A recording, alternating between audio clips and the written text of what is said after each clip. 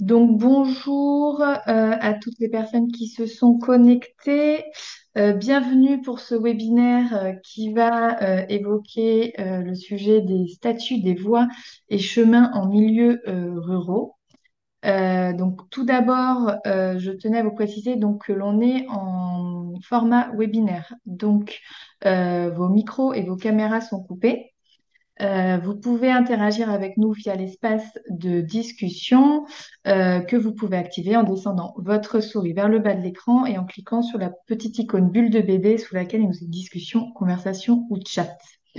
Euh, je vous précise également que ce webinaire est enregistré et euh, qu'il fera du coup euh, qu'il y aura un replay que vous pourrez consulter euh, par la suite sur la chaîne YouTube de France Silva. Euh, Donc, euh, ce euh, webinaire va être animé par Alexandra Beaune, qui est juriste au sein de France Silva. Et puis, comme euh, j'ai vu que euh, dans les personnes inscrites, il y a certains d'entre vous euh, qui ne sont pas forcément adhérents, donc qui peut-être ne connaissent pas France Silva, euh, ce que je vous propose, c'est que je vais déjà euh, voilà, vous préciser un peu qui est France Silva. Donc, France Silva, c'est la fédération euh, des syndicats de propriétaires forestiers qui a pour vocation de représenter les propriétaires forestiers auprès des différents organismes, pouvoirs publics ou organisations et euh, qui a aussi vocation de euh, d'informer, euh, de former, euh, d'informer les, les propriétaires forestiers euh, sur leur rôle euh, à jouer en tant que propriétaires euh, et notamment vis-à-vis de, de la filière forêt-bois et toujours dans une dans une logique de gestion durable des forêts françaises. Euh, il y a un syndicat euh, Silva dans tous les départements en France, donc euh, pour lequel vous pourrez trouver les coordonnées sur le site francsilva.fr. Euh, voilà, si vous voulez avoir plus de renseignements sur notre fédération et sur nos syndicats, je vous invite à nous rendre visite sur le site internet et à contacter le syndicat de votre département. Donc, c'est dans ce cadre-là que euh, nous avons euh, on- qu'on a réfléchi euh, sur le fait qu'il pouvait être intéressant de, d'évoquer ce sujet-là. Alors, le statut des voies et chemins en milieu rural, c'est pas forcément le, le, cœur de, de, métier de cible euh, sur la partie euh, forestière, on va dire, puisque euh, puisque effectivement au niveau de Transilva, on a plutôt l'habitude de traiter de, de sujets purement, purement forestiers et notamment dans sa partie juridique. Néanmoins, euh, les euh, voies et chemins en milieu rural, ça reste une composante euh, quand même importante dans votre, dans vos actions au quotidien sur le terrain. Et on s'est dit qu'il pouvait être intéressant effectivement de vous donner, on va dire, les grandes lignes sur ces sujets-là. Donc, je vais euh, peut-être créer un petit peu de frustration dans ce que je vais vous dire euh, par la suite, mais effectivement, on est dans le cadre d'un webinaire euh, qui ne va pas, en tout cas, qu'il nous semble pertinent de ne pas faire dépasser de plus de une heure et demie, grand max, deux heures, très très grand max. Et donc, sur ce sujet-là, on ne pourra pas traiter, on ne traitera pas dans ce webinaire des cas spécifiques, personnalisés des uns et des autres. Donc, toutes les questions liées à une problématique personnelle, je ne les relayerai pas. On va vraiment essayer de vous donner le cadre général sur ce sujet-là. Euh, et puis, on essaiera de vous donner également euh, quelques euh, interlocuteurs qui peuvent vous aider en fonction des problématiques que vous pouvez rencontrer, mais on ne traitera pas des cas spécifiques parce qu'on est sur un sujet où effectivement il peut y avoir beaucoup de cas spécifiques et on n'aura pas le temps de les traiter dans ce webinaire, d'autant plus qu'il y a presque 200 personnes qui se sont inscrites, donc euh, ce serait, euh, trop, long et fastidieux. Donc, l'objectif de ce webinaire est vraiment de vous donner un cadre global, de vous donner les grandes lignes de ce qui se fait euh, sur les droits et statuts, sur les, les- statuts des voies et chemins ruraux. Et puis, on essaiera quand même de prendre quelques questions génériques. Donc, je vous invite dans vos questions à plutôt les orienter de manière générale Euh, et dans la, dans la limite du possible, c'est comme vous êtes très nombreux, euh, voilà, on va essayer de tenir un, créneau horaire. Normalement, c'est une heure. On va on peut tenir jusqu'à une heure et demie, mais, euh, mais voilà, on va essayer de tenir cet horaire-là. Une fois tous ces éléments dits, je propose à Alexandra de reprendre la main et de... alors, je vois qu'elle est partie. Donc, je pense qu'elle a dû essayer de se reconnecter. Donc, euh, Alexandra qui va animer cette euh, formation a un petit problème avec sa caméra. Euh, donc, je crois que c'est dans ce sens-là, dans ce sens-là, qu'elle a dû se déconnecter pour se reconnecter. Voilà. Donc, bonjour à tous. Je, vois certaines personnes connues. Donc, vous avez déjà pas mal interchangé, inter- interagi sur le chat.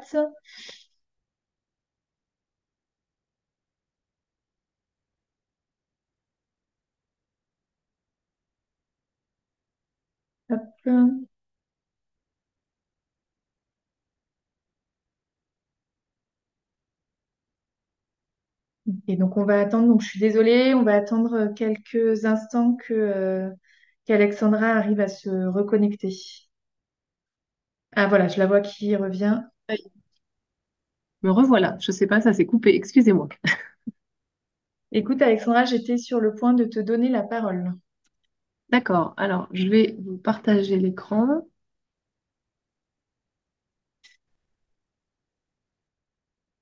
On va y arriver.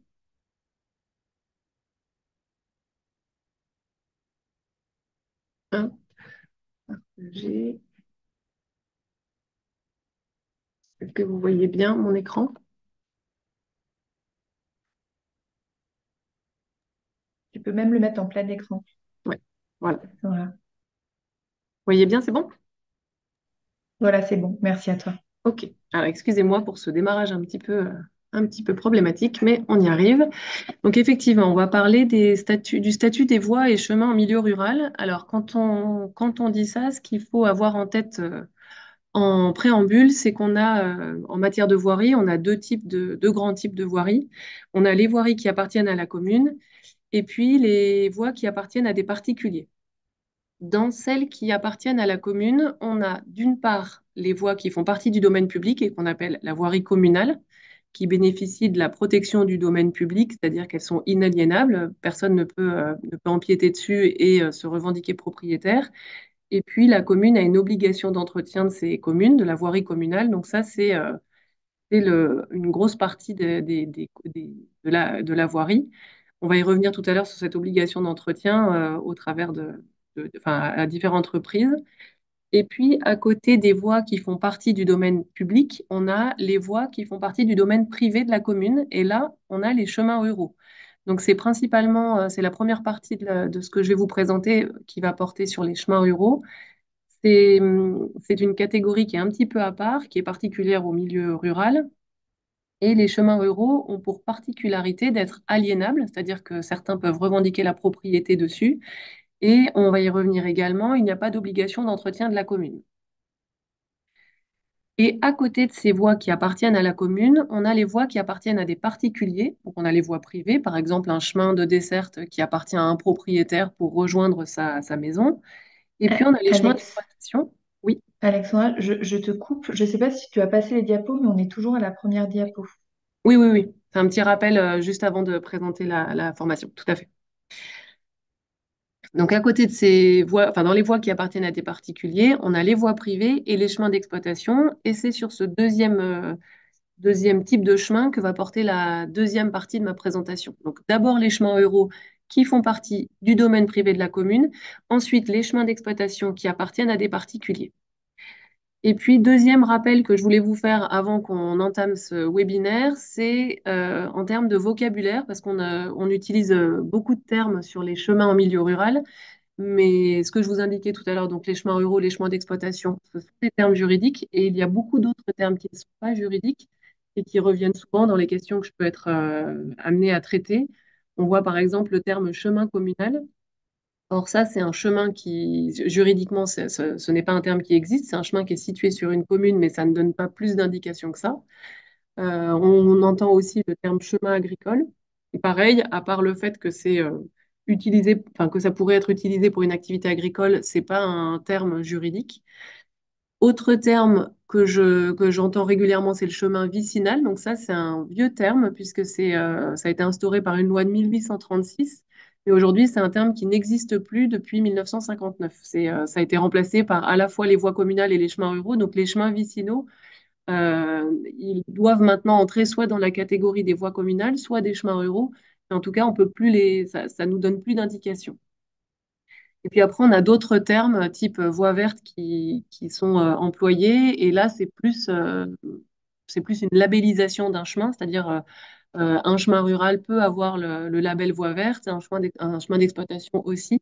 Mais juridiquement, ça ne donne pas, euh, ça ne nous permet pas de le qualifier et de, de lui appliquer un régime particulier. Et donc, la première chose qu'on aura à faire quand on sera face à un chemin et à une problématique juridique sur un chemin, c'est de déterminer sa nature pour savoir si c'est un chemin rural ou un chemin d'exploitation. Comment on fait pour le savoir? En premier lieu, euh, il convient d'interroger la mairie qui peut tenir un tableau de classement des voies communales et, un répertoire des chemins ruraux. Donc ça, c'est parfait si on a ça. Comme ça, au moins, on sait à quelle catégorie juridique appartient le chemin concerné. Et puis sinon, ensuite, il va falloir un petit peu euh, faire un, travail de, regroupement d'indices, donc aller chercher par exemple les documents cadastraux, mais ce sont des documents fiscaux, donc euh, ça sera qu'un indice, et chercher le maximum d'éléments permettant de qualifier le chemin. Donc voilà les, les- le préambule de, ce webinaire pour que vous ayez un petit peu euh, déjà les grandes, euh, les grandes lignes. Et aujourd'hui, ce que je vais me limiter à présenter, ce seront donc les chemins ruraux en premier lieu, ensuite les chemins d'exploitation, et puis en fin de, en fin de webinaire, je parlerai un petit peu des itinéraires de randonnée et des pistes DFCI parce qu'on a régulièrement des questions sur ces sujets. Alors, en premier lieu, les chemins ruraux, euh, il faut savoir qu'ils sont définis par le Code rural et de la pêche maritime. Donc, c'est une réglementation qui est uniquement dans ce Code rural. Et on a trois critères qui permettent de les qualifier, sachant que ce ne sont pas des critères euh, cumulatifs. Il n'y a pas besoin de remplir les trois critères pour être qualifié de chemin rural. On a un premier critère qui est euh, de dire que quand un chemin appartient à la commune, alors il est, c'est un chemin rural. Alors, appartenir à la commune, la preuve de la propriété, euh, elle va être quelque part libre. La commune pourra démontrer qu'elle a acheté le, chemin, qu'elle l'a créé, qu'il y a eu euh, une expropriation et qu'elle l'a repris dans son domaine. Euh, tout ça, ça va être une question de, preuve. Et puis, le chemin, il peut également être affecté à l'usage, enfin, il doit également être affecté à l'usage du public. C'est-à-dire qu'on a une présomption qui précise que tout chemin affecté à l'usage du public est présumé appartenir à la commune. Et ça, c'est une présomption qui est simple. Juridiquement, ça veut dire qu'elle peut être euh, battue en brèche. On peut apporter des éléments contraires. Donc, ce n'est pas parce qu'un chemin est affecté à l'usage du public que ça sera toujours un chemin rural, mais en tout cas, c'est une présomption qui permet d'aller dire c'est un chemin rural. Si jamais un, un propriétaire euh, veut revendiquer la propriété de ce chemin euh, alors qu'il est affecté à l'usage du public, il devra alors apporter la preuve, par exemple, de son titre de propriété ou euh, par tout autre moyen, il pourra démontrer qu'il euh, en est propriétaire. Également, sur cette affectation à l'usage du public, on considère qu'il y a une présomption d'affectation si le chemin est utilisé comme voie de passage, que ce soit par des piétons ou des véhicules. Par exemple, s'il relie deux communes, quand on a un chemin qui relie deux communes et que des piétons peuvent l'emprunter, euh, il est présumé affecté à l'usage du public et dans ce cas, il pourrait rentrer dans la catégorie des chemins ruraux. De la même manière, si la commune, elle, euh, exerce ce qu'on appelle des actes de voirie, elle entretient la voirie, là aussi, euh, on a une présomption que c'est un chemin rural. Ça nous, permet d'orienter le raisonnement vers le chemin rural. Euh, mais euh, ce sont des, critères qui permettent d'aller vers la preuve d'un chemin rural, mais euh, comme, ce sont des preuves, enfin, des, présomptions, parfois, comme toujours, on pourrait, aller contre. Et puis, dernier critère que nous indique le code rural, c'est que les chemins qui ne sont pas classés en voie communale, euh, enfin que les chemins ruraux sont ceux qui ne sont pas classés en voie communale. Parce que comme on l'a dit tout à l'heure, le domaine de la commune, il comprend à la fois les voies communales et les chemins ruraux. Donc dès lors qu'on est dans une catégorie, on n'est pas dans l'autre. Ça, c'est quelque part de la, de la logique. Une fois qu'on a qualifié ensuite un chemin de chemin rural, le principe, c'est qu'il fait partie du domaine privé de la commune. Alors, qu'est-ce que ça veut dire, domaine privé de la commune? C'est principalement qu'il est aliénable, euh, c'est-à-dire que hum, la commune en est propriétaire, sauf si quelqu'un vient le contester. Alors que la voirie communale, à l'inverse, euh, c'est inaliénable. La commune en est propriétaire et personne ne pourra jamais le revendiquer. Euh, donc, par exemple, ce qui peut parfois être, avancé pour revendiquer la propriété d'un chemin, c'est de, de, se prévaloir de ce qu'on appelle juridiquement la prescription acquisitive. C'est-à-dire qu'on on s'est comporté comme un propriétaire de manière prolongée. Le Code civil nous dit qu'on a eu une possession continue, c'est-à-dire qui n'a pas été euh, interrompue, paisible, c'est-à-dire que personne n'a contesté cette, cette possession, publique, c'est au vu de tous, non équivoque, c'est-à-dire qu'il n'y a, pas de, a pas de débat dans les faits, tout le monde est d'accord pour, euh, pour euh, qualifier cette situation, et on s'est comporté comme un propriétaire.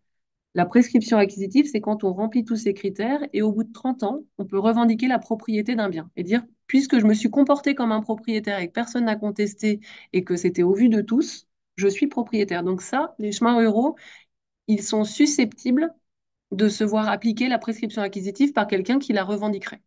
Donc c'est la grosse différence avec la voirie communale. Voilà sur ce premier point concernant la définition des chemins ruraux. Ensuite, si on parle de chemins ruraux, on, a aussi des caractéristiques techniques à, remplir, notamment d'assiettes, mais euh, le code rural va un petit peu plus loin parce que les caractéristiques des chemins ruraux sont définies euh, il faut notamment tenir compte de la géographie des lieux, des courants de desserte, des matériels utilisés. Le tracé d'un chemin rural doit être le plus rectiligne possible, le rayon de courbe le plus grand possible, la déclivité, elle doit être la plus faible possible, ou en tout cas réduite. Et puis, il faut que les eaux pluviales puissent s'écouler euh, librement. Donc ça, ce sont des caractéristiques techniques. Et puis, on a aussi des règles d'assiette qui ont été prévues depuis euh, la loi du 3 octobre 1969 qui nous indique que la chaussée maximale d'un chemin rural doit être de 4 mètres, et puis éventuellement, s'il y a euh, des accotements et interpleins, on peut aller jusqu'à 7 mètres. Alors la commune peut prévoir une assiette plus large que ça. Euh, S'il euh, y a des circonstances particulières qui le justifient, il faudrait qu'il y ait des, voies de, de, retournement, etc. Enfin, des choses comme ça, la commune, là, peut le prévoir. Et puis, alors ça, ce sont pour les, ce que je viens d'indiquer, ça vise les chemins qui sont, euh, enfin, qui ont été créés depuis le 3 décembre 1969, euh, le 3 octobre 1969, pardon. Mais pour les autres chemins, ben, on va avoir des fois un petit peu de difficulté pour déterminer l'assiette d'un chemin, et ça peut parfois poser des difficultés. Donc là, à nouveau, il faudra faire un, travail un petit peu de, de remonter dans le temps et puis aller retrouver la délibération du conseil municipal qui a qui a décidé la création du chemin rural pour rechercher si des plans, des plans ont été mis en annexe de cette délibération. Donc, si s'il y a des plans, bah, c'est très bien, il faut les reprendre et essayer de les recalquer sur la situation actuelle. Et puis, si, euh, si on n'a vraiment rien, il faudra procéder à un bornage, c'est-à-dire euh, d'aller euh, vraiment déterminer l'assiette exacte avec tous les indices qu'on peut avoir sur le terrain pour, pour dire que, que l'assiette du chemin rural est à cet endroit et pas à un autre.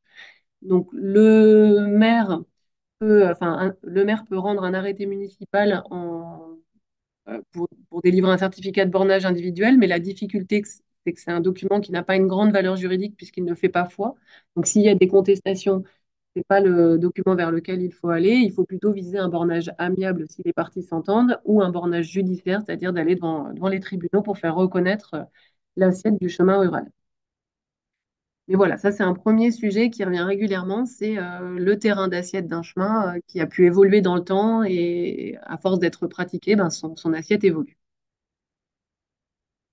En matière d'entretien, je l'ai un petit peu abordé tout à l'heure, le principe, c'est euh, que les communes n'ont pas l'obligation d'entretien des chemins ruraux. C'est-à-dire qu'elles ne sont pas tenues d'entretenir les chemins ruraux. Tout simplement, c'est que la dépense d'entretien des chemins ruraux ne figure pas dans la liste des dépenses obligatoires. Contrairement à la voirie communale, la voirie communale, l'entretien fait partie des dépenses obligatoires de la commune. Ce n'est pas le cas pour les chemins ruraux. Et le pendant de ce principe, c'est que si jamais quelqu'un subit un préjudice pour défaut d'entretien, la commune ne peut pas être tenue pour responsable. Elle n'est pas tenue d'entretenir, donc elle ne peut pas être tenue pour responsable en cas de préjudice. Alors ça, c'est le principe. Euh, l'exception, c'est que si la commune commence à réaliser un, début d'entretien et puis qu'elle euh, le poursuit, alors là, elle a l'obligation de poursuivre l'entretien, de continuer à le faire. Donc dès lors qu'elle démarre un enfin, qu'elle commence à entretenir un chemin rural, là, elle se génère elle-même une obligation et elle devra euh, toujours, le, toujours le, le, faire. Et puis la, le, pendant que je disais tout à l'heure est inversé, c'est-à-dire que si jamais quelqu'un subit un préjudice du fait du défaut d'entretien normal, là, la responsabilité de la commune peut être recherchée puisque c'est elle qui s'est chargée de l'entretien.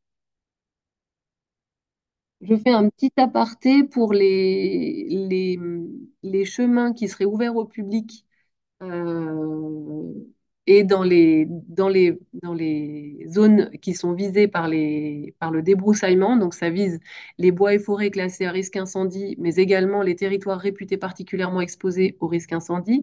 Dans ces zones-là, comme ce sont des voies ouvertes à la circulation du public, la mairie a une obligation de débroussaillement sur une certaine largeur qui est fixée par arrêté préfectoral. Donc là, il faut retrouver l'arrêté préfectoral pour euh, retrouver quelle est la largeur prévue, sachant qu'elle est plafonnée à 20 mètres de part et d'autre de la voie.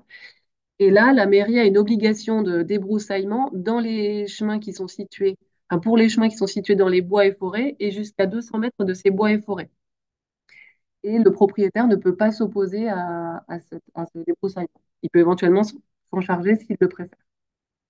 Donc ça, c'est un petit aparté, mais euh, en matière de débroussaillement, on a quand même une petite règle un petit peu particulière, c'est que ça doit être fait dans, certaines, dans les zones qui sont soumises à l'obligation de débroussaillement. Et puis, dernier point, donc on a dit que la commune, sur le principe, n'a pas d'obligation d'entretien, sauf si elle se charge de l'entretien elle-même. Dernier point, c'est le cas de l'entretien d'un chemin rural qui serait fait par un riverain, c'est-à-dire un, quelqu'un qui petit à petit, euh, enfin qui, soit empiétré par exemple d'année en année sur le chemin, bah, il pourrait un petit peu euh, euh, réduire l'assiette du chemin, mais ça pourrait aussi être le cas de quelqu'un qui se charge lui-même de l'entretien parce que ça l'arrange, ça dessert une de ses parcelles un petit peu plus loin. Là, comme on disait tout à l'heure, la prescription acquisitive pourrait jouer si jamais la commune laissait faire et elle n'intervenait pas. Donc, à terme, la personne qui se chargerait de l'entretien pourrait revendiquer la propriété d'un chemin rural. Donc ça aussi, c'est des situations qu'on voit, c'est un chemin qui n'est pas entretenu, quelqu'un s'en charge, et puis petit à petit, ça fait que la situation juridique peut évoluer. Ensuite, en matière de conservation des chemins ruraux, c'est-à-dire de maintien des chemins ruraux et de, d'empêcher qu'ils ne disparaissent, là, euh, le maire dispose de pouvoirs de police, c'est-à-dire qu'il peut intervenir, on va y revenir un petit peu après en détaillant euh, les pouvoirs qu'il a, il doit notamment veiller à la sécurité des chemins, donc empêcher euh, les, nuisances et empêcher les dégradations. Euh, il euh, doit veiller à la commodité de circulation sur les chemins ruraux, donc on va voir qu'il peut aussi apporter certaines limitations de circulation. Et puis, il doit s'assurer de, préserver leur intégrité, donc éviter les empiètements, quelqu'un qui viendrait petit à petit laisser, les, laisser la forêt grandir et empiéter sur l'assiette d'un chemin rural. Le maire pourrait dire, attention, vous empiétez, euh, vous n'avez pas le droit, enfin, le chemin rural m'appartient, je, défends la propriété de la commune. Dans les, interdictions, le Code rural euh, en cite toute une série, mais ce n'est pas une liste limitative. Euh, alors, les deux qui sont en gras, c'est que je vais y revenir un petit peu plus, mais on peut en tout cas citer les exemples, enfin, quelques exemples qui sont prévus par le Code rural. Donc, le, maire peut prévoir des interdictions de circulation de certains véhicules et matériels. Euh, sur les chemins ruraux, il est interdit de labourer et de cultiver le sol du chemin et de ses dépendances. Donc ça, c'est quelque part logique, mais ça peut euh, arriver notamment chez les agriculteurs qui auraient une parcelle de chaque côté du chemin. Bah, ça les arrangerait de labourer le chemin en se disant, tiens, il y a plus grand monde qui le prend, je vais le labourer, puis ça va me faire une grande parcelle. Donc ça, c'est interdit.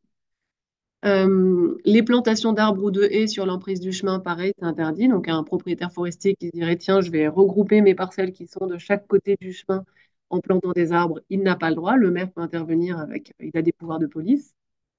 Il est interdit également de détériorer les talus et les accotements, euh, enfin les, accotements et les fossés d'un chemin rural.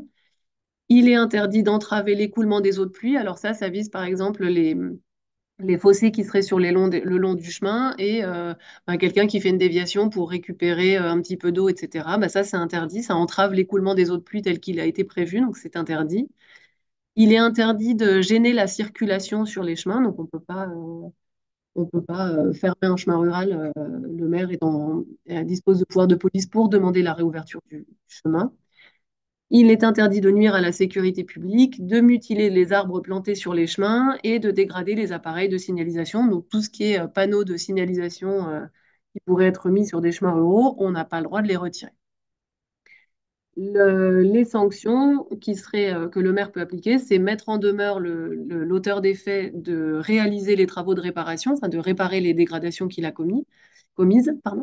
Et puis, à défaut, la commune peut réaliser ces travaux et elle, euh, elle adressera la facture à l'auteur de ces dégradations. Alors, on va revenir sur deux points, euh, les deux points qui sont en gras, donc les plantations d'arbres et de haies qui sont le long des chemins ruraux. Euh, là, le principe, c'est qu'il n'y a pas de condition de distance d'implantation. Donc, ça veut dire qu'on peut, on pourrait, sur le principe, planter à, l'aplomb des chemins ruraux. On n'a pas de règle qui s'applique comme pour d'autres voies de circulation. La limite à ce principe euh, qui donne une grande liberté finalement, c'est le respect des servitudes de visibilité. On pourrait, euh, on imagine facilement par exemple que deux chemins se croisent et que, euh, ce croisement, on a besoin d'avoir une certaine visibilité pour empêcher les accidents. Dans ce cas, il faut, le, maire pourrait demander de retirer certains, de, certains arbres pour que la visibilité soit bonne. Et puis, euh, de manière même un petit peu plus, euh, plus carrée, entre guillemets, il pourrait y avoir un plan de dégagement qui est pris.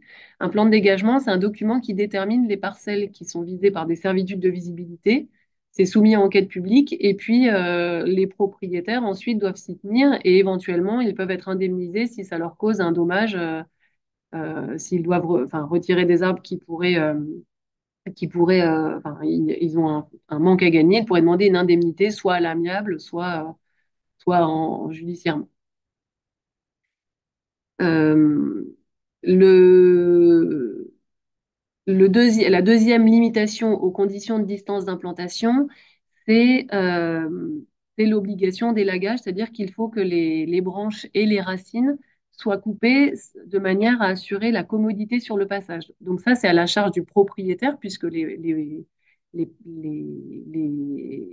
arbres lui appartiennent. Et euh, s'il ne le fait pas, la commune a le droit de le faire aux frais du propriétaire. Donc ça, c'est euh, enfin, aussi une obligation qu'il faut avoir en tête, c'est qu'il faut bien procéder à l'élagage sur les bords des chemins ruraux. En matière de circulation de véhicules, là aussi, on a euh, régulièrement des, cas qui nous remontent, puisque par principe, les chemins ruraux sont ouverts au public, mais il peut arriver que le maire limite cette circulation.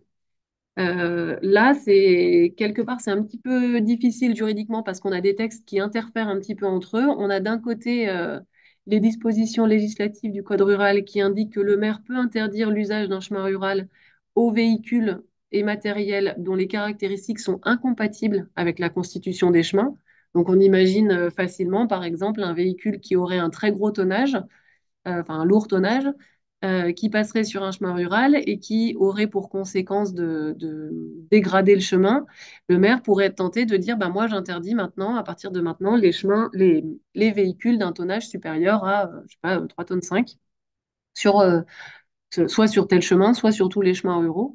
Donc ça, c'est les dispositions législatives. Mais à côté, on a des dispositions qui viennent un petit peu aussi mettre des obligations à la charge de la commune, puisqu'on a euh, des dispositions qui prévoient que le chemin doit pouvoir supporter, avec un entretien normal, les efforts dus aux véhicules matériels et modes de traction couramment utilisés dans la commune. Alors ce texte-là, il est un petit peu compliqué à appliquer. Enfin, il est compliqué. Dans la pratique, c'est compliqué parce que quand il est construit le chemin, euh, souvent, ce sont des chemins anciens. Quand il a été construit, les matériels qui existent aujourd'hui ne sont pas ceux qui étaient, euh, qui étaient euh, enfin, sur les routes à l'époque de la construction du chemin. Donc, ce, ça pose parfois des difficultés, mais en tout cas, ça, derrière, ce qu'on peut lire, c'est que la commune, elle a une sorte d'obligation d'adapter euh, ses chemins aussi aux matériels qui sont utilisés. Euh, et puis, on a aussi un texte qui prévoit que le- les interdictions de circulation euh, délivrées par le maire peuvent viser certaines catégories de véhicules incompatibles avec la constitution des chemins. Ça peut être des, interdictions qui sont temporaires, par exemple à certaines saisons ou permanentes. Ça peut viser tout ou partie des chemins ruraux. Donc, euh, ça, c'est vraiment les pouvoirs de police du maire. Alors, quand il y a des contentieux en la matière, c'est-à-dire quand euh, le maire rend un arrêté municipal interdisant la circulation de certains véhicules sur les chemins ruraux, euh, les, la... Alors forcément, ça sera difficile à trancher parce que c'est des, intérêts divergents et comme on le voit, il y a des textes qui sont un petit peu difficiles à, faire pencher dans un sens ou dans l'autre. Mais le principe qui règne, c'est le principe de proportionnalité, c'est-à-dire que les magistrats vont rechercher si la limitation à la liberté de circuler, elle atteint bien le but qui est recherché et euh, qu'il n'est pas possible d'atteindre ce but avec des mesures moins rigoureuses. Et notamment, euh, dans les mesures euh, que, les maires pourraient mettre en œuvre, c'est que les maires peuvent euh, appliquer une contribution spéciale à la charge des personnes qui sont responsables des dégradations. C'est-à-dire, bah, puisque vous avez, par exemple, des, véhicules avec des gros tonnages, eh ben, je vais mettre à votre charge une contribution spéciale qui me permettra, moi, de continuer à entretenir mes chemins et ça ne mettra pas une charge trop lourde sur la commune euh, alors qu'en réalité, ça ne vise que, ce ne sont que quelques personnes identifiables qui les, qui les abîment. Donc, ce principe de pro- proportionnalité, il revient régulièrement dans la jurisprudence et, euh, les juges donc recherchent si l'interdiction, elle ne peut pas être comblée par d'autres mesures. Et ce qu'il convient également de rappeler en cas de contentieux avec une commune sur ce sujet-là, c'est que comme c'est un contentieux avec la commune, on ne suit pas les règles classiques de responsabilité, c'est-à-dire euh, un préjudice, un lien de euh, un dommage, un une faute, une faute, un préjudice et un lien de causalité entre cette faute et ce dommage. Là, comme on est face à la commune, on peut avoir une responsabilité sans faute. Il y a uniquement à démontrer qu'on a subi un préjudice et qu'il est lié à l'interdiction de circulation de la mairie. Donc même si l'arrêté municipal est validé, c'est-à-dire même si euh, l'interdiction de circulation est validée, on pourrait quand même imaginer de rechercher la responsabilité, de la commune parce que, par exemple, on ne pourrait plus exercer une activité euh, sylvicole. Elle serait empêchée. Voilà sur ces deux points que que je voulais un petit peu euh, vous présenter. Ensuite, l'aliénation des chemins ruraux. Donc, comme on le disait tout à l'heure, c'est une grande différence avec la voirie communale qui, elle, est inaliénable. Les chemins ruraux peuvent, euh, peuvent être aliénés. Là, on peut avoir, euh, par exemple, l'ouverture d'un chemin rural, le déclassement d'une voie communale en un chemin rural, une modification du tracé du chemin rural, une vente même d'un chemin rural ou un échange de parcelles. Toutes ces procédures, elles ont pour, euh, pour point commun qu'il faut procéder au préalable à une enquête publique. Donc toutes ces modifications des chemins ruraux, elles ne se font pas non plus euh, sans, information du public et, euh, et possibilité de faire des, faire des remarques pour, euh, pour le public. Et puis, euh, dernier point sur les chemins ruraux, c'est un point qui est un petit peu, enfin, qui est récent puisque ce sont des dispositions qui datent de de 2022, c'est le recensement des chemins ruraux. Donc, effectivement, comme, comme on a pu le voir, les chemins ruraux, ce sont des, ce sont des sujets assez sensibles. Il y a pas mal de contentieux. Et l'objectif de la loi 3DS de 2022 a été de dire, puisqu'on a des contentieux sur les chemins ruraux et qu'on a des fois des problèmes d'assiette, des problèmes de- d'identifier qui en est propriétaire, etc., on va permettre aux communes de procéder à un recensement des chemins ruraux sur leur territoire. Donc, pour que, pour qu'une commune procède à ce recensement, il faut en premier lieu qu'il y ait une délibération du conseil municipal qui aura notamment pour, euh, pour euh, objet de nommer un commissaire enquêteur, de fixer l'objet de l'enquête et de, d'indiquer où sont disponibles les informations et où peuvent être formulées les observations. Et puis ensuite, une enquête publique sera, euh, sera mise en place. Alors, cette enquête, elle peut durer au elle doit durer au minimum 15 jours et au maximum 18 mois. Donc euh, ça, ça dépend un petit peu de chaque situation.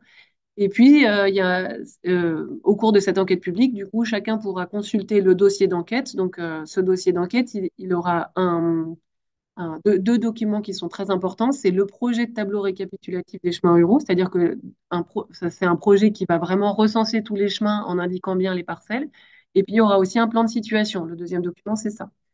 Donc, ce dossier d'enquête, il mérite d'être regardé puisque ça permet d'après d'aller faire part de ses observations et puis de s'assurer que, que la situation est bien celle qu'elle est sur le terrain, qu'il n'y a pas des choses qui peuvent être aménagées, etc. Et puis, une fois que cette enquête publique est terminée, le commissaire enquêteur va transmettre au maire le, recueil le registre de tout ce qu'il a pu relever. Et puis, le maire pourra, enfin, le conseil municipal pourra rendre une délibération arrêtant le tableau récapitulatif des chemins ruraux. Et celui-ci, il s'appliquera, euh, il s'appliquera. Alors, ce tableau récapitulatif, on a eu des précisions dans un arrêté, euh, de début d'année, là, de février 2023. Il précise que, euh, ce tableau récapitulatif devra indiquer le numéro du chemin rural, le type de, chemin, si c'est une impasse, un sentier, un chemin, etc. La longueur sur le territoire de la commune et l'état d'entretien et de conservation. Et une fois que ce tableau il a été validé par délibération, il est transmis au conseil départemental et comme ça, euh, on a euh, enfin, l'information, elle elle, circule. Voilà ce que je voulais dire sur les chemins ruraux. Je ne sais pas si Christelle, tu souhaites qu'on fasse une petite pause avec quelques, quelques questions. Oui, alors il y a plusieurs questions euh, qui, qui sont un peu redondantes et qui, qui s'interrogent surtout sur la possibilité en termes de rachat de chemins ruraux. Alors oui, c'est possible. La commune peut vendre un chemin rural, comme on a vu euh, en matière d'aliénation. Par contre, ça impliquera euh, une enquête publique au préalable. D'accord? Et du coup, l'initiative, est-ce que c'est, enfin, beaucoup, y, il y a certains cas qui sont présentés et euh, ou, ou des chemins ruraux qui débouchent sur des cul-de-sac et qui du coup ne, ne desservent plus que des propriétés privées. Est-ce que le propriétaire peut euh, demander à la commune s'il souhaite vendre? Enfin, quelle est la démarche à, à, à, à mettre en place dans ce, dans ce genre de cas de figure? alors la, la démarche souvent qui est indiquée, c'est comme un chemin rural, il a pour principe d'être affecté à l'usage du public, il faut déjà en premier lieu s'assurer que le chemin n'est plus affecté à l'usage du public. Alors, ce qui peut des fois être euh, préconisé, si jamais, euh, euh, enfin, ce qui peut être préconisé, c'est que la commune fasse un nouveau chemin avec un nouveau tracé. qu'elle attende que, le chemin ne, soit plus, euh, plus utilisé. Et ensuite, elle pourra constater qu'il y a une désaffectation du chemin à l'usage du public et puis elle pourra le vendre. Donc, en général, ce qu'elle fait, c'est que d'abord, elle change son tracé pour, euh, avant de pouvoir le vendre. Très bien. On, nous demande aussi euh, quelles sont les démarches possibles en cas de fermeture illicite d'un chemin rural? Alors là, ce sont les pouvoirs de police du maire. Si jamais un particulier, euh, ça, ça arrive effectivement régulièrement, met une barrière pour, euh, pour bloquer l'en- l'entrée à un chemin rural, il faut aller en mairie et demander au maire qu'il fasse, qu'il, fasse, qu'il fasse usage de ses pouvoirs de police et qu'il demande à la personne de, euh, de, de, de laisser la libre circulation sur ce chemin. Très bien. Euh, deux questions, notamment sur les, les derniers points. Euh, les emprises de chemin ruraux sont-elles cadastrées comme n'importe quelle parcelle privée? Euh, oui, oui, tout à fait. Ouais, ouais. Au cadastre, vous avez les, vous avez les, hum, bah, ils ont des numéros, il y a le- la, la, la, la superficie, etc. Ouais, sur les documents cadastraux. Euh, Alors, je pense qu'il faut demander, enfin, c'est à la mairie qu'il faut demander pour avoir les informations. Euh, ouais, voilà. D'accord. Et est-ce qu'une alors une voie communale, est-ce que les chemins communaux, ils ont tous un numéro? Les chemins ruraux ont un numéro, ouais. Alors après, les anciens, euh, ouais, des anciens chemins n'ont pas toujours des numéros et on voit écrit juste chemin rural, mais les nouveaux normalement. Et puis justement, c'est l'objet du recensement, enfin de la procédure de recensement, c'est de pouvoir bien euh, les numéroter. ouais. Et c'est pas toujours le cas et, et ça, ça dépend un petit peu des communes. D'accord, très bien. Et euh, j'ai un monsieur qui demande par quel acte un chemin rural peut devenir une voie communale et comment s'y opposer s'il s'agit d'une simple desserte en impasse? Euh, C'est un changement d'affectation. Ça serait un chemin rural qui passerait en voie communale. Euh, je ne sais pas quel est le, comment s'appelle le, l'acte qui permet de faire ça. Après, la commune, oui, elle peut le faire. Enfin, elle peut, euh, le, le- elle peut, elle peut, elle peut faire un changement d'affectation. Est-ce que tu peux me répéter la fin de la question, s'il te plaît? C'est euh, par quel acte un chemin rural peut devenir une voie communale et comment s'y opposer s'il s'agit d'une simple desserte en impasse? Euh, alors, à mon sens, là, il faut aller voir la, commune et lui, montrer que le, chemin n'est pas, enfin, n'est pas, euh, n'est plus affecté à l'usage du public, puisque si c'est une impasse, ça mène à rien, et donc il n'y a pas vraiment de raison que pour- pourquoi la commune le passerait en voie communale? Enfin, ouais, il faut, voir euh, le, cas, précis. C'est vrai que la commune, c'est un peu étonnant qu'elle veuille le passer en voie communale, si c'est pas utilisé par le public, parce qu'elle se crée une charge de, l'entretenir. Après, peut-être que c'est pour le, proté- le protéger sous l'inaliénabilité. Enfin, peut-être que c'est ça. C'est en fonction des. Là, c'est les circonstances euh, du cas qu'il faudrait regarder un petit peu plus précisément. contexte. Très bien, merci.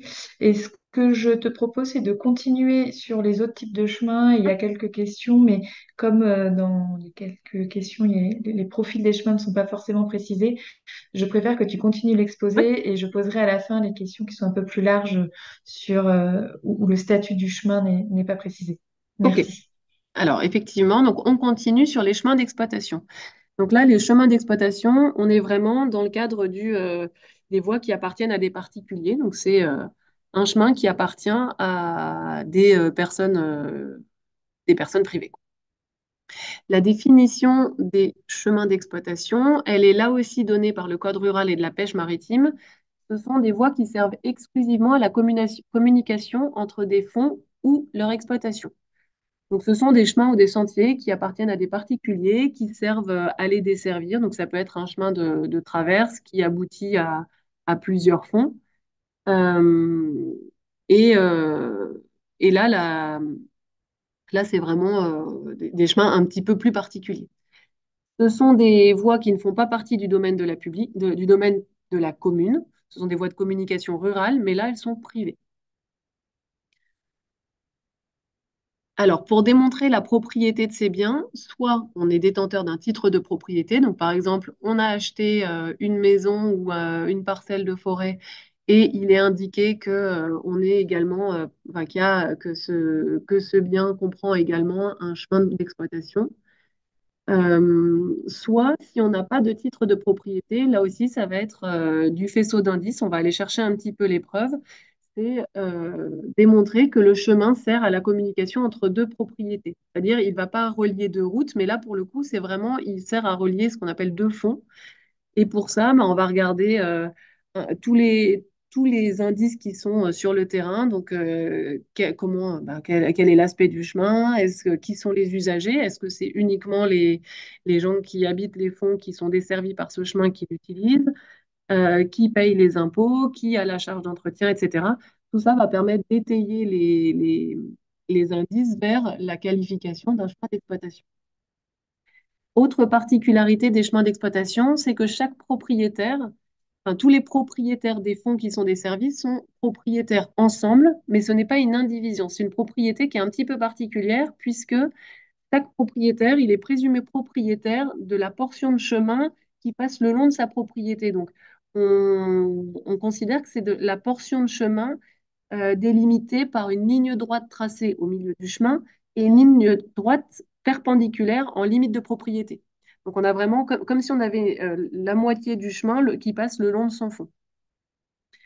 Euh, ça, c'est le principe des chemins d'exploitation. On n'a pas besoin d'avoir un plan qui le précise, c'est la règle des chemins d'exploitation.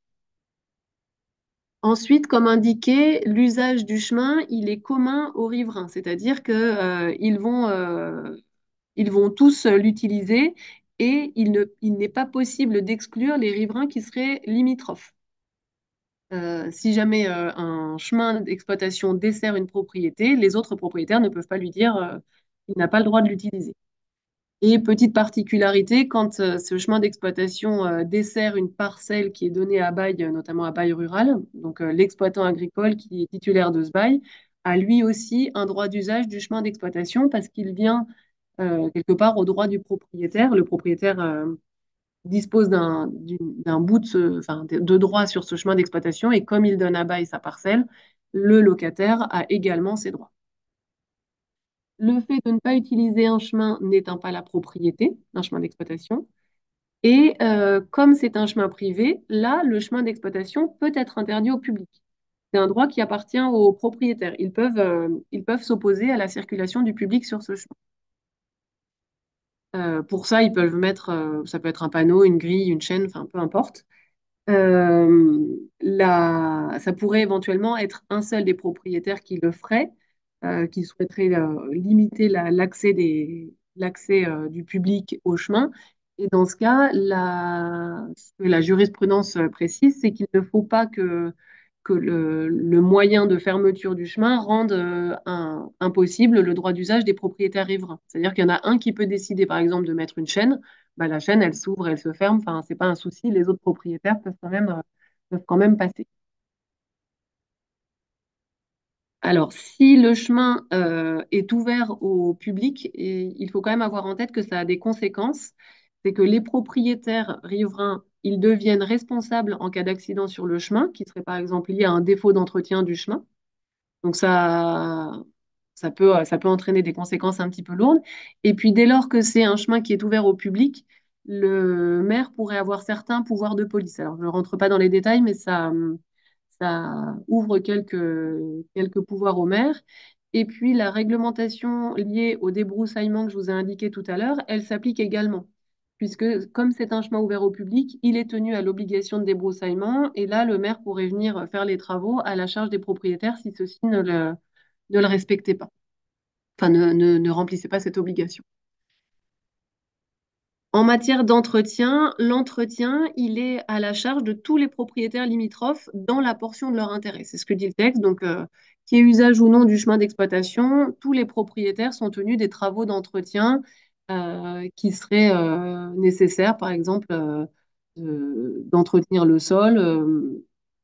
On n'a pas d'obligation de refaire, par exemple, à, neuf le sol d'un chemin d'exploitation, mais il faut quand même que ça soit ça permet une utilisation, euh, une utilisation par tous, par exemple. Il peut y avoir un des propriétaires qui renonce à, cette, euh, à, ce- à son entretien. Alors pour ça, euh, qui renonce à son droit d'usage, ce qui lui permettrait de ne pas avoir l'obligation d'entretien. Alors pour ça, il faut vraiment qu'il y ait une convention écrite et un, un procès-verbal de conciliation ou éventuellement un jugement si on va jusque-là. Et puis, euh, et puis euh, si c'est publié, enfin, il est conseillé de publier ce document de, de- d'opposition à, enfin, de renonciation du propriétaire à son droit d'usage. Il est conseillé de le publier au service de la publicité foncière, c'est-à-dire anciennement hypothèque, pour que les tiers, euh, enfin, pour que ça soit opposable aux tiers. En matière de, non, pardon, je suis allée un petit peu vite. En matière de plantation, euh, là, on n'a pas de disposition propre au chemin d'exploitation. On applique les règles du Code civil, c'est-à-dire, euh, en premier lieu, euh, pour l'implantation des arbres, il faut interroger la mairie, voir s'il y a des usages locaux qui sont prévus. Et puis, à défaut, l'implantation, elle doit être faite à 2 mètres si la hauteur de la plantation dépasse 2 mètres et à un demi-mètre si c'est inférieur à 2 mètres. Et ces règles ne sont pas applicables pour toutes les plantations qui ont plus de 30 ans. Euh, en matière d'élagage, comme je l'indiquais, euh, pas pas d'obligation d'élagage sur le principe. euh, il faut quand même permettre, après c'est de l'usage courant, mais il n'y a pas d'obligation, sauf si on a ouverture au public. Et là, dans ce cas, il y a des obligations d'entretien un petit peu plus larges.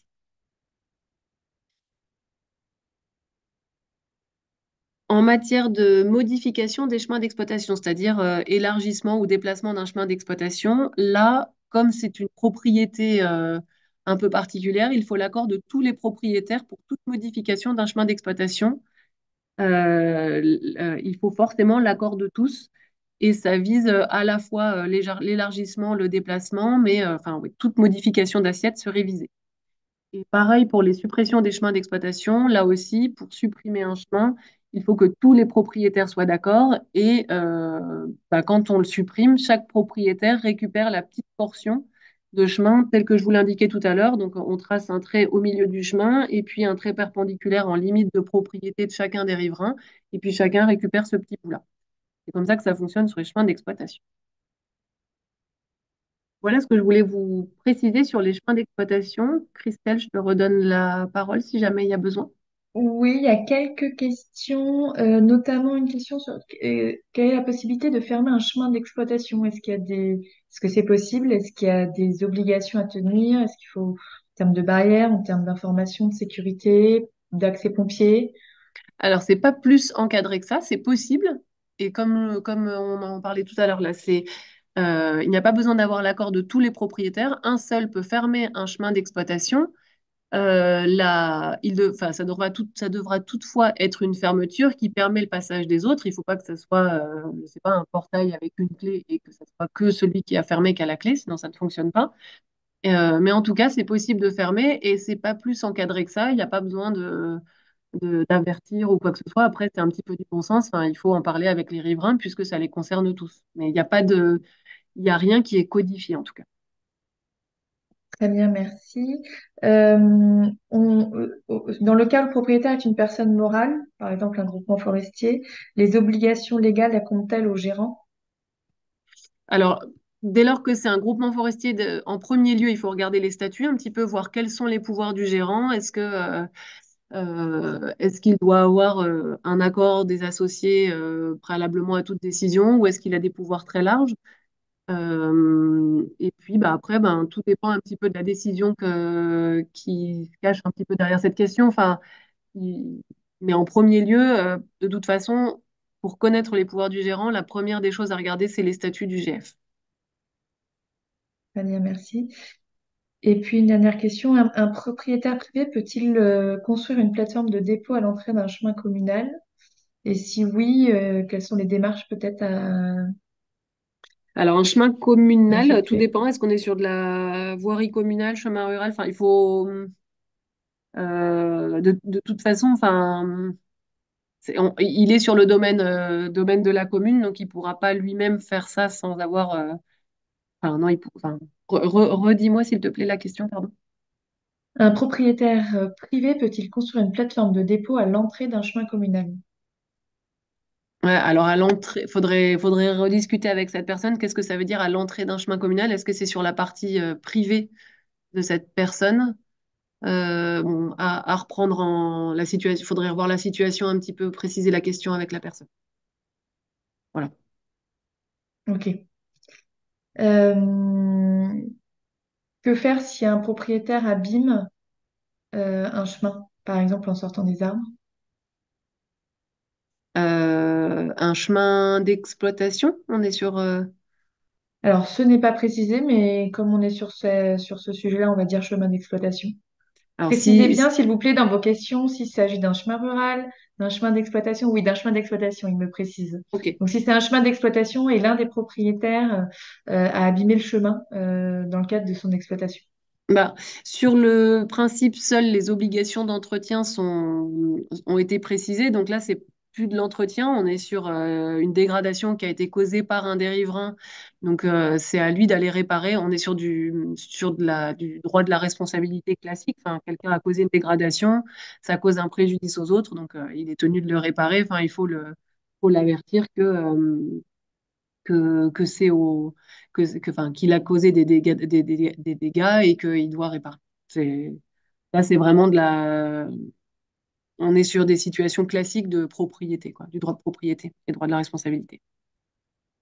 Très bien. Et si c'est dans le cadre d'un chemin rural? Alors, chemin rural qui aurait été dégradé, euh,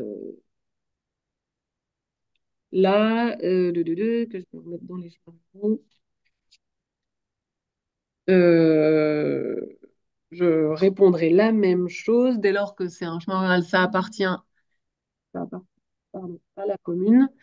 Euh, et donc la commune serait en mesure d'aller rechercher la responsabilité de la personne qui a dégradé le chemin. Mm. Et éventuellement, la commune pourrait faire les réparations et aller demander et aller adresser la facture à, l'auteur des dégâts, comme on a vu tout à l'heure. Euh, on avait toute une liste d'interdictions vis-à-vis des chemins ruraux, notamment euh, de dégrader les chemins, de, de modifier leur, leur tracé, etc. Enfin, ça, c'est dès lors que on a, enfin, c'est dès lors qu'on a causé des dégradations, on est tenu de les réparer. Donc, effectivement, le, le maire pourrait aller rechercher l'auteur des dégâts. Très bien, merci. Du coup, je vais te laisser euh, continuer sur les, les deux, euh, les, deux prochains chapitres. Oui. Et après, je reposerai des questions euh, une fois que tous les statuts auront été, euh, auront été évoqués. Hum, Ok. Alors maintenant, on va continuer avec les chemins de randonnée. Donc ça, c'est euh, On a souvent des questions puisque euh, les en forêt, forcément, euh, c'est euh, propice aux randonnées et on a a des chemins de randonnée qui se créent et qui sont pas forcément toujours bien bien encadrés. Donc le but, c'est un peu de rappeler les règles qui s'appliquent. Alors déjà en premier lieu. un itinéraire de randonnée, ce n'est pas un statut juridique. Comme on l'a vu tout à l'heure, on a des chemins ruraux, des chemins d'exploitation, des chemins privés, mais euh, un, itinéraire de randonnée, ce n'est pas, euh, il n'y a pas de, c'est pas une qualification juridique. Euh, quelque part, ces chemins de randonnée, enfin quelque part, c'est les chemins de randonnée, ils prennent le statut de la voie qu'ils empruntent. C'est-à-dire que s'ils sont sur un chemin rural, eh ben, il va falloir respecter les règles des chemins ruraux. S'ils sont sur un chemin privé, il va falloir respecter les règles de la propriété privée euh, et ainsi de suite. Petite précision, euh, si le, chemin de randonnée passe en forêt privée, les objectifs d'accueil du public doivent bien, et que, cette forêt est soumise à, plan simple de gestion, c'est-à-dire pour les surfaces au-delà de 20 hectares, euh, les objectifs d'accueil du public doivent être intégrés dans le PSG et euh, il doit y avoir une convention signée avec une collectivité publique. Alors, revenons un petit peu sur ça. Au niveau départemental, il y a ce qu'on appelle un plan départemental des itinéraires de promenade et de randonnée qui doit être établi. Alors, pour établir ce PDIPR, euh, Est-ce que c'est tu peux juste euh, préciser PDIPR euh, plan, ouais, plan départemental des itinéraires de promenade et de randonnée. Donc ça, c'est le, le document cadre de, ces, de, de la réglementation qui s'applique. Donc, ce document, le PDIPR, il est, à la, il est élaboré au départ, c'est une délibération du conseil départemental qui va euh, désigner, par exemple, les types de randonnées qu'il souhaite euh, prendre en compte et puis envisager les rencontres avec euh, tant les collectivités que les propriétaires et puis commencer à préparer des conventions avec justement ces collectivités et ces propriétaires pour, pour ensuite pouvoir avoir un, un plan des, des itinéraires de randonnée. Donc, une fois que ce projet a été élaboré, tous les partenaires et, euh, et les personnes concernées sont consultés. Donc, normalement, les propriétaires, quand il y a un PDIPR qui est euh, établi, tous les propriétaires forestiers privés sur les, enfin, sur, euh, qui auraient des parcelles qui seraient comprises dans le PDIPR doivent être consultés et puis on doit leur soumettre une convention. Cette convention, on va y revenir un petit peu après, je vous la détaillerai. Mais une fois qu'elle a été établie, elle permet l'adoption d'un plan et euh, le conseil départemental va signer toutes ces conventions, que ce soit avec les, euh, communes, les propriétaires privés, etc. Ce que nous dit la loi, c'est que des délibérations qui prévoiraient l'inscription d'un chemin privé dans un PDIPR, sans avoir passé de convention avec les propriétaires, ces délibérations sont inégales. Donc surtout, si vous avez des... N'hésitez pas, si vous avez des chemins de randonnée qui passent et qu'on ne vous a pas soumis de convention, il faut vraiment aller euh, voir le conseil départemental, éventuellement votre mairie pour bien les prévenir qu'il y a un souci. Mais je vous invite vraiment à signer des conventions et puis ça, je vous, y invite d'autant plus que les projets de convention que je vois passer pour, et que j'ai pour relecture, ils sont souvent très légers. Parce que ces conventions, elles ne sont pas très encadrées, donc c'est quelque, enfin, c'est une libre négociation entre les parties, c'est-à-dire euh, d'aller dire, euh, moi, propriétaire forestier privé, je veux bien qu'il y ait un itinéraire de randonnée. Par contre, euh, je veux avoir je veux être certain que vous vous assurez du balisage, que vous vous assurez du ramassage des déchets, que vous prenez une assurance, enfin que euh, la collectivité prend une assurance pour les dommages qui pourraient être, euh, causés aux randonneurs si, euh, tant qu'ils sont sur l'itinéraire de randonnée. Euh, il peut éventuellement y avoir une indemnité. On peut prévoir euh, ce qui se, enfin, comment on résilie cette, cette convention, parce que c'est une convention qui permet le passage, mais c'est pas une servitude, c'est-à-dire qu'elle va être, euh, va être prise, euh, que ouais, elle va être prise euh, euh, enfin, elle va pouvoir s'arrêter dans le temps si jamais le propriétaire, enfin, si les parties souhaitent y mettre fin dans des conditions qu'ils auront prévues euh, dans cette convention. Donc vraiment, il faut être euh, très vigilant sur cette convention, bien la relire et essayer d'imaginer un petit peu tous les cas de figure qui pourraient se produire. Il y a mauvais entretien, mauvais entretien du chemin et donc ça crée des dommages. Qu'est-ce qui va se passer quand le propriétaire va vouloir faire ses travaux forestiers? Euh, est-ce qu'il peut y avoir une fermeture temporaire du chemin? Si oui, dans quelles conditions, etc. Donc, il faut vraiment bien, euh, bien encadrer cette convention et pas hésiter à négocier et à discuter un petit peu sur les clauses qui peuvent être mises dedans.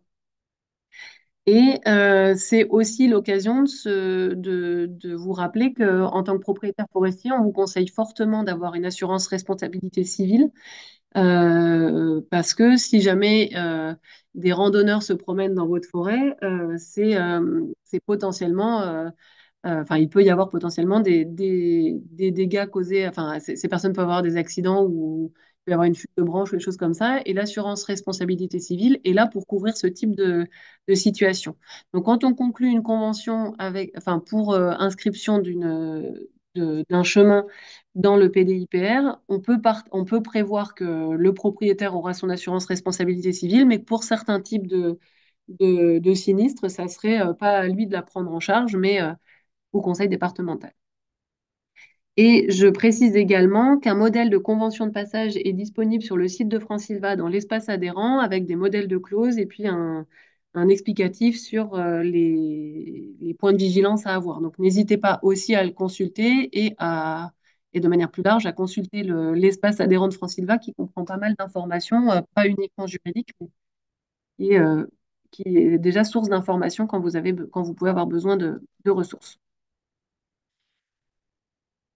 Si, on continue sur le, une fois que le PDIPR a été établi et qu'on a des itinéraires de randonnée qui sont, qui sont prévus, le- la suppression du tracé, euh, les, enfin, les, les conséquences sont différentes selon qu'on- que le tracé passe sur un chemin rural ou un chemin d'exploitation.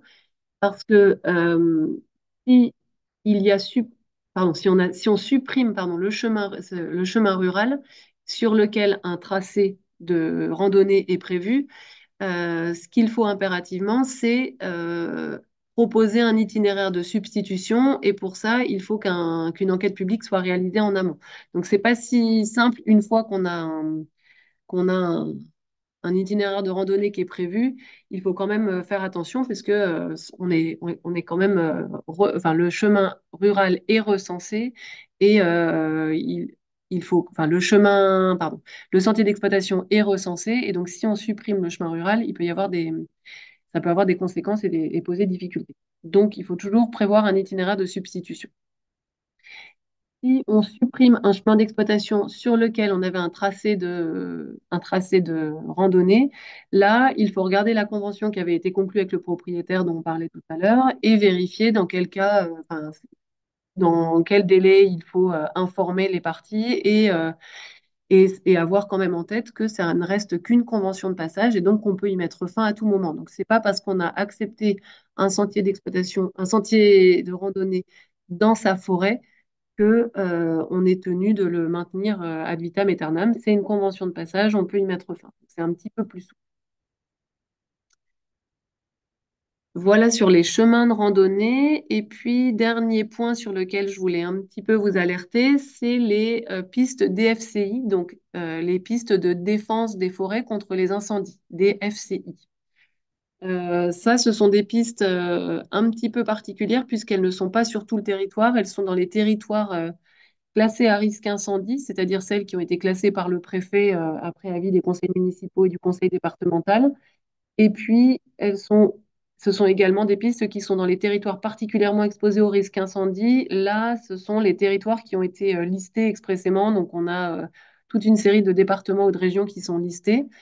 Sachant que dans ces deux types de territoires, euh, à compter du 10 janvier 2024, donc ça c'est prévu par la loi de prévention incendie, le classement, il sera fixé par arrêté des ministres chargés de la forêt, de l'environnement et de la sécurité civile après avis des institutions concernées par la défense des forêts contre les incendies. Donc ça, il y aura un petit peu des modifications probablement de, de départements.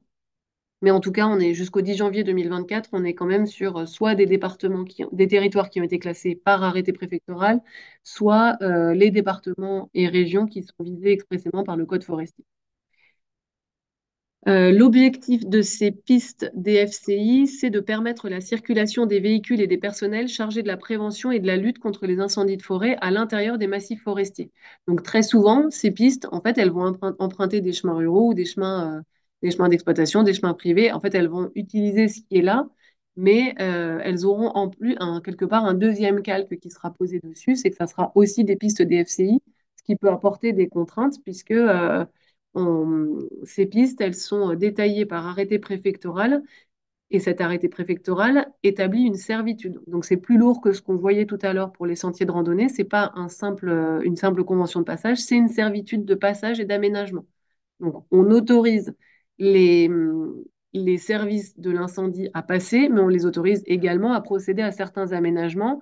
Alors ça peut être par exemple euh, installer une citerne, une tour de guet, euh, prévoir une aire de retournement parce que euh, ce sont des gros véhicules, donc il faut qu'ils puissent se retourner, etc. Donc ça peut être assez lourd. Et, hum, et pour le coup, il est plus difficile de négocier que dans le cadre des sentiers de randonnée.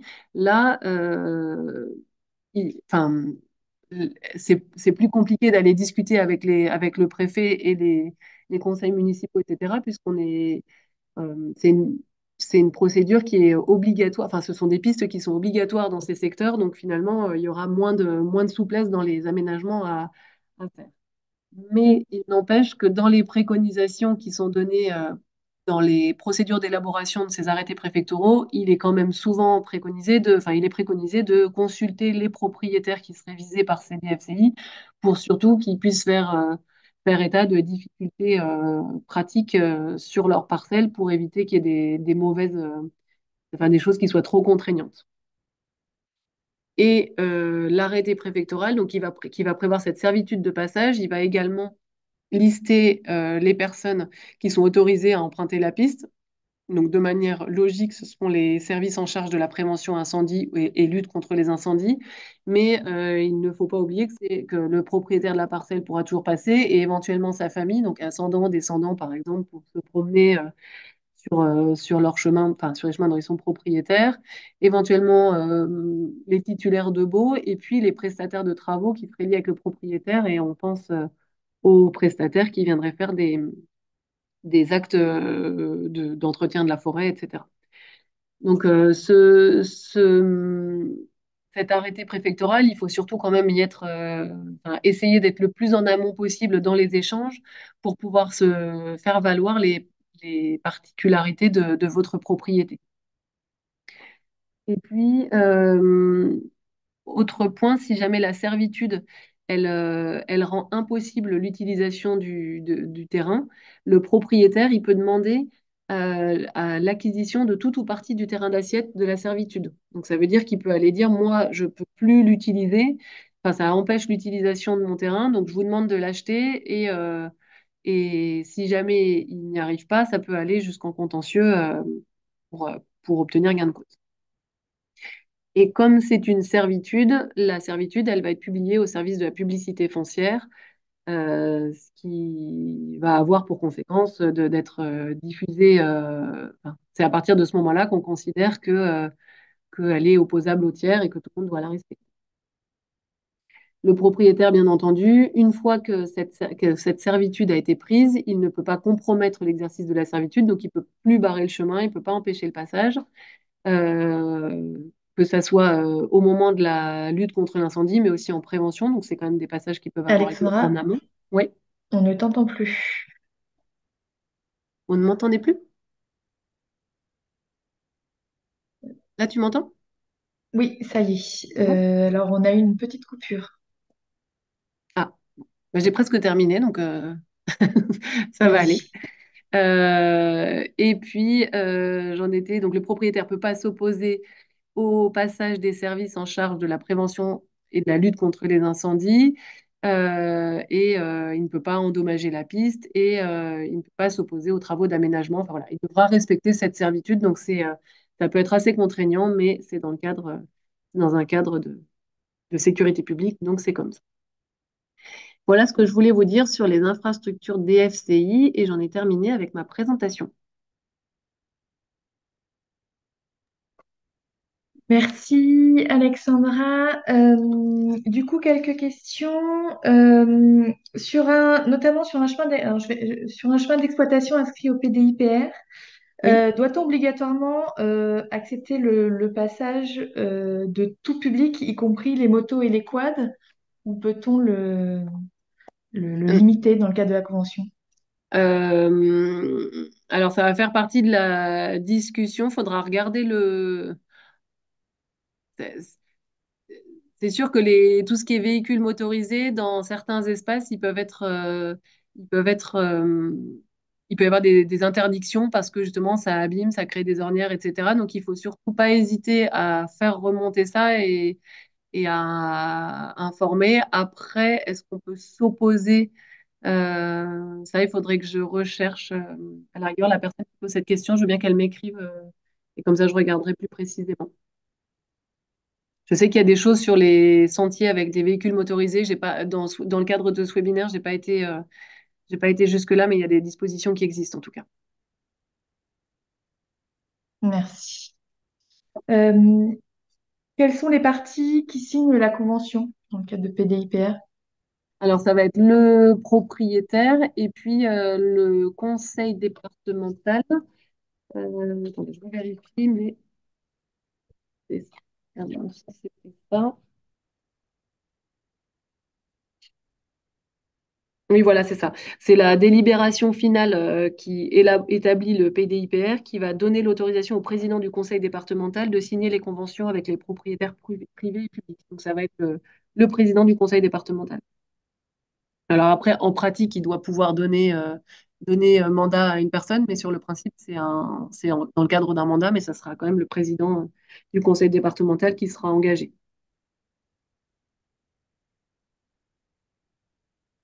Très bien. Comment se situer lors de l'utilisation de pistes DFCI dans le cadre d'exploitation forestière? Hum, Est-ce que la personne, elle peut préciser ce qu'elle veut- ce qu'elle entend par comment se situer?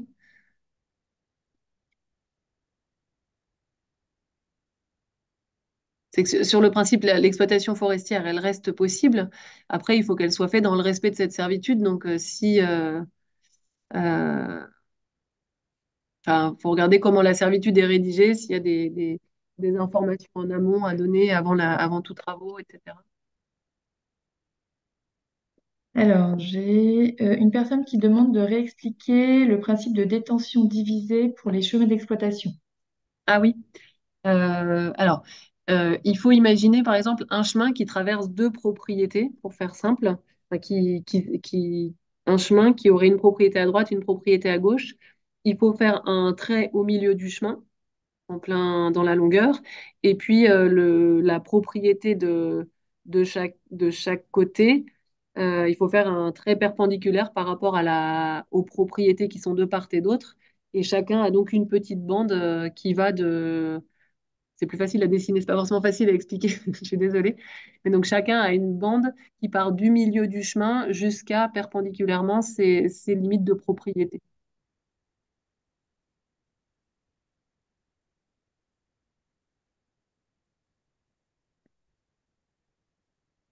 Très bien. Euh, alors, beaucoup de questions. Je ne vais pas pouvoir poser toutes les questions, hein, je suis désolée, mais, mais vous êtes très nombreux euh, sur ce webinaire.